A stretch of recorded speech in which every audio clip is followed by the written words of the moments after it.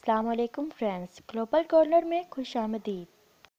Please subscribe my channel and press the bell icon. آج ہم آپ کے ساتھ حسد ڈرامے کی مکمل کہانی شیئر کرنے جا رہے ہیں۔ امید ہے آپ کو ویڈیو پسند آئے گی۔ تو شروع کرنے سے پہلے کچھ ناموں کا تعارف کروا دیتے ہیں۔ نینال خان، جو اس ڈرامے میں مین رول پلے کر رہی ہے نین تارا کے نام سے اور ان کے شوہر شہروز سبزواری، ارمان کے نام سے۔ دوسری طرف اس کی جٹھانی زرین اور اس کا شوہر فرحان۔ یہ کہانی حسد اور معاشرے میں ایک بیوہ عورت کے ساتھ ہونے والے سلوک پر مبنی ہے۔ کہ لوگ نہ کسی کی خوشی دیکھ سکتے ہیں، ایسا ہی کچھ نین تارا سے حسد کا زرین کو کہ اس کا شوہر اس سے اتنی محبت کیوں کرتا ہے۔ اس کا اتنا خیال کیوں رکھتا ہے؟ ہر وقت اس کے آگے پیچھے دیوانوں کی طرح کیوں پھرتا ہے؟ اور یہی حسد بری نظر نین تارا کے شوہر کو کھا جاتی ہے۔ اور ان کی گاڑی ٹھیک کرنے والا وہ اجنبی شخص ان کا پیچھا کرتے ہوئے ان کے گھر پہنچ جاتا ہے۔ چوری کی نیت سے آتا ہے اور ہنگامہ آرائی پر گولی چلتی ہے، جو ارمان کے سینے کے آڑ پار ہو جاتی ہے۔ ارمان موقع پر ہی دم توڑ دیتا ہے۔ نین تارا، جو کہ شادی کے ایک سال بعد دھی امید سے ہو گئی تھی اس کی تو دنیا ہی اجڑ جاتی ہے۔ وہ فرحان کا گرے بان پکڑ کر کہتی ہے کہ ارمان آپ کی موت مرا ہے۔ وہ چور آپ کے پیچھے آئے تھے۔ اس گھر میں یہ دیکھ کر زرین کو شدید غصہ آتا ہے کہ یہ کون ہوتی ہے میرے شوہر کو ایسے کہنے والی۔ اسے اب کھل کر نین تارا سے بدلہ لینے کا موقع مل گیا ہے۔ سب سے پہلے تو وہ تارا کے تمام رنگین لباس اٹھا کر اسے کفن نما سفید لباس دیتی ہے کہ بیوہ عورت کو یہی پہننا ہوتا ہے۔ کہ جس کا شوہر مر جاتا ہے، اس عورت کے لیے کچھ نہیں بچتا۔ میرا تو خیال ہے کہ اس عورت کو بھی مر ہی جانا چاہیے۔ یہ سن کر تارا کہتی ہے کہ آپ صحیح کہہ رہی ہیں، مجھے مر جانا چاہیے۔ فرحان اسے روکتا ہے اور زرین پر ناراض ہوتا ہے کہ وہ پہلے ہی بہت پریشان ہے۔ زرین اپنی ساس اور ماں کو بھی ساتھ ملا لیتی ہے اور کہتی ہے کہ تارا منحوس ہے۔ اس کی وجہ سے ہمارا ارمان چلا گیا۔ تارا کا جینا حرام کر دیتی ہے۔ یہ تینوں عورتیں مل کر اور اوپر سے ساری کثر زرین کا بھائی پوری کر دیتا ہے۔ وہ نین تارا پر پوری نظر رکھتا ہے اور اس کے ساتھ بدتمیزی کرنے کی کوشش کرتا ہے۔ اس کا ہاتھ پکڑ لیتا ہے، جس پر نین تارا جو اس کا گلاس اس کے منہ پر الٹا دیتی ہے۔ امی کہہ رہی ہو، یہ بات جب فرحان کو پتہ چلتی ہے تو وہ زرین پر چلاتا ہے کہ آئندہ تمہارا بھائی اس گھر میں نظر نہ آئے، جس پر زرین اپنی ماں کے گھر جا کر اپنے بھائی کے منہ پر تھپڑ مارتی ہے۔ کہ تمہیں وہ بیوہ عورت ہی ملی تھی۔ تم نے یہ بھی نہ سوچا کہ وہ میرے گھر میں رہتی ہے۔ کچھ بہن کا ہی لحاظ کر لیتے۔ آگے آپ دیکھیں گے کہ زرین پہلے سے بھی زیادہ زور و شور سے نین تارہ کے خلاف ہو جاتی ہے اور اتنا ہی فرحان تارہ سے قریب ہو جاتا ہے۔ اسے نین تارہ سے ہمدردی ہے۔ اور ایسے ہی تارا ایک دن اسے اپنا سچا ہمدرد سمجھ کر ان کے سامنے اپنا دکھ سناتی ہے کہ ارمان، ان سے ایک سال کے اندر مجھے اتنا پیار دیا ہے کہ میں اب باقی زندگی اس پیار کے سہارے گزار سکتی ہوں۔ آپ پلیز امی اور بھابھی کو سمجھائیں کہ مجھے کسی سے بھی دوبارہ شادی نہیں کرنی اور اس کے کندھے پر سر رکھ لیتی ہے۔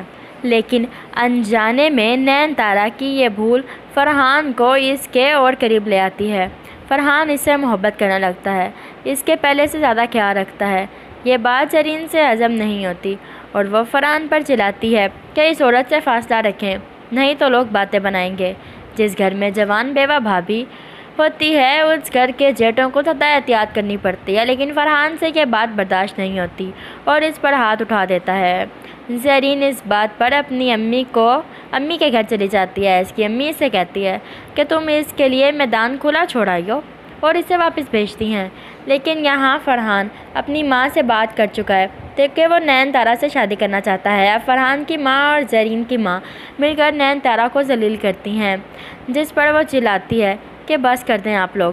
میں ارمان کی جگہ کسی کو بھی نہیں دے سکتی۔ آگے آپ دیکھیں گے کہ زرین کے کی ماں اس سے کہتی ہے کہ تم فرحان کو اپنے ہاتھ میں رکھنے کے لیے اس کے پاؤں میں اولاد نام کی زنجیر ڈالو، جس پر زرین نٹی ڈاکٹر کے پاس جاتی ہے اور تمام ٹیسٹ کروانے کے بعد اسے پتہ چلتا ہے کہ وہ تو کبھی ماں ہی نہیں بن سکتی۔ حسد کی آگ میں جلنے والا یہ سوچتا ہے کہ سامنے والا مر جائے گا، لیکن یہ نہیں جانتا کہ اپنے حسد کی آگ میں وہ خود ہی جل کر مر جاتا ہے۔ یہی کچھ زرین کے ساتھ ہوگا۔ اس کے حسد نے اسے کہیں کا نہیں چھوڑا اور جب اس کے ماں نہ بننے کی خبر۔ جب سب گھر والوں کو پتہ چلتی ہے، تو فرحان کی ماں اسے خوب سناتی ہے کہ میں نے سب کچھ جانتے ہوئے بھی ہر بات میں تمہارا ساتھ دیا اور نین تارا کو دکھ دیا۔ لیکن اب میں فرحان کو اور نین تارا کی شادی کروا کر نین تارا کو اس گھر میں پھر سے وہی مقام اور حیثیت دینا چاہتی ہوں اور فرحان اور نین تارا کا نکاح پڑھوا دیتی ہیں۔ زرین سے یہ سب کچھ برداشت نہیں ہوتا۔ اس کا جھوٹ سب کے سامنے آنے کے بعد۔ اس کے گھر میں وہ حیثیت نہیں رہتی۔ اور اب تو فرحان اور نین تارا کی شادی کے بعد زرین بالکل ہی پاگل ہو جاتی ہے۔ اپنی ہی ساس کے خلاف ہو کر اونچا اونچا بولتی ہے کہ آپ میری خوشیوں کی قاتل ہیں۔ آپ کی وجہ سے میرا شوہر اس منحوس عورت کے ہاتھوں میں چلا گیا۔ میں آپ کو کبھی معاف نہیں کروں گی۔ زرین کی ماں اسے کہتی ہے کہ یہ کل سے کام لو۔ ابھی بھی کچھ نہیں بگڑا۔ اور پھر تم اپنے شوہر کو واپس حاصل کر سکتی ہو۔ زرین کے اتنے زیادہ زہر اگلنے کے بعد نین تارا کہتی ہے کہ میں ایسا کچھ نہیں چاہتی۔ میں میں کبھی بھی زرین بھابھی کی جگہ نہیں لینا چاہتی۔ میں آپ کے شوہر سے شادی نہیں کرنا چاہتی تھی۔ آپ کو، آپ کا شوہر مبارک ہو۔ میں یہاں سے کہیں دور چلی جاؤں گی۔ فرحان زرین کی طرف صرف غصے سے دیکھتا ہے اور کہتا ہے، ٹھیک ہے۔ مجھے اختیار ہے کہ میں کس کے ساتھ رہنا چاہتا ہوں اور میں نین تارا کا انتخاب کرتا ہوں۔ تمہاری مرضی ہے، تم واپس جانا چاہتی ہو تو جا سکتی ہو۔ زرین اس وقت تو غصے میں وہاں سے چلی جاتی ہے، لیکن کچھ عرصے بعد، جب اپنی ماں اور بھائی کی اصلیت اور لالچ اس پر کھلتی ہے، تو وقت گزرنے کے ساتھ ساتھ زرین کی آنکھیں بھی کھل جاتی ہیں اور وہ آ کر نین تارا کے گلے لگ کر روتی ہے کہ مجھے معاف کر دو۔ میں نے بہت غلط کیا۔ میرے حسد نے تمہاری خوشیاں جلا کر راکھ کر دیں، لیکن اپنے حسد کی آگ میں میں خود اب جل رہی ہوں۔ جب ارمان اس دنیا سے گیا تھا تو مجھے بہت خوشی ہوئی تھی کہ اچھا ہوا، تم دونوں کی لو سٹوری ختم ہوئی۔